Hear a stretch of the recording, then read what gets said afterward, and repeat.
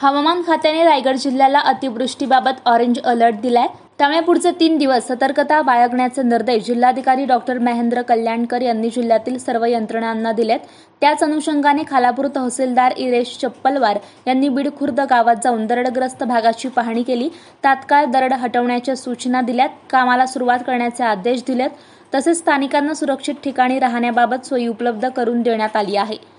बावीस जुलै रोजी जी अतिवृष्टी झाली त्याच्यामध्ये जो समोर डोंगर दिसतो त्या डोंगराला जागोजागी दरड गेलेली आहे तडे गेले मोठमोठ्या दगडी निघालेल्या आहेत.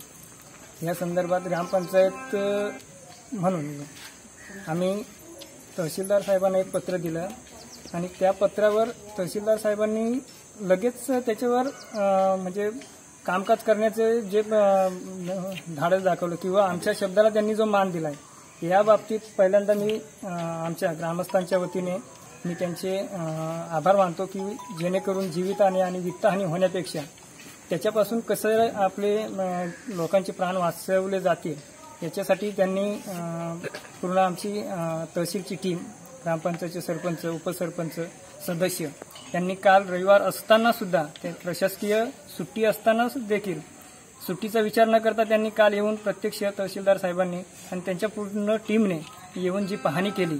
आणि त्याच्यावर लगेच आता त्यांनी सांगितल्याप्रमाणे जिल्हाधिकारी साहेबांच्या आदेशानुसार लगेच जे परिस्थिती आपण बघतोय ती परिस्थितीवर कशी मात करता येईल? याच्यासाठी त्यांनी काल काही माणसं बघितली. मनुष्यबलाच्या सहाय्याने आता जे आपण बघतोय ते दगडी फोडण्याचं काम चालू आहे. हे बीड खुर्द गाव आहे. आणि या ठिकाणी आदिवासीवाडी आणि बौद्धवाडा आहे. आणि हे एक डोंगर असं दिसते. आणि त्या डोंगराच्या मध्ये फार मोठे मोठे दगड आहेत. आणि आम्हाला यशवंत पवार एक आणखीन दोन सदस्य यांनी आमचं निदर्शन आणून दिलं होतं.